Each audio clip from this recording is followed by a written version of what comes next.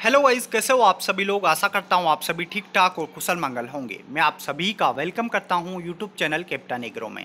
Guys आज के video में हम बात करेंगे जेट एग्ज़ाम की। क्या आपका जेट का एग्ज़ाम 11 जुलाई को होगा या फिर आपके डेट एक्सटेंड हो गई है?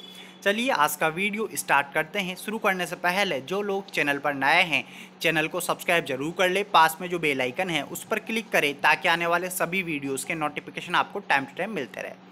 सबसे पहले हम बात करते हैं फॉर्म फिलिंग डेट जो आपके लास्ट डेट है, वो थी 11 June 2021 without late fees late fees के साथ 16 जून 2021 थी। अब इस डेट को एक्सटेंड कर दिया गया है। जैसा कि आप देख पा रहे हो last date of online application form filling of JET pre PG PhD has been extended चलिए देखते हैं, इन्होंने एक नया नोटिस भी जारी किया है। उस नोटिस के अंदर इन्होंने बताया है कि आपके जो एप्लीकेशन की डेट है, वो इक्कीस छः दो तक इन्होंने बढ़ा दी है। मतलब आप 21 छः दो हज़ार इक्कीस तक अपना फॉर्म फिल कर सकते हो, जिन्होंने फॉर्म फिल नहीं किया है। एस के एन कृषि विश्वविद्यालय जॉबनेट जयपुर का ये नोटिस है। देखते हैं इस नोटिस में आपको क्या बताया गया है। जेट प्री पीजी पीएचडी प्रवेश परीक्षा 2021 श्री करण नरेंद्र कृषि विश्वविद्यालय, जोबनेर द्वारा आयोजित की जाएगी।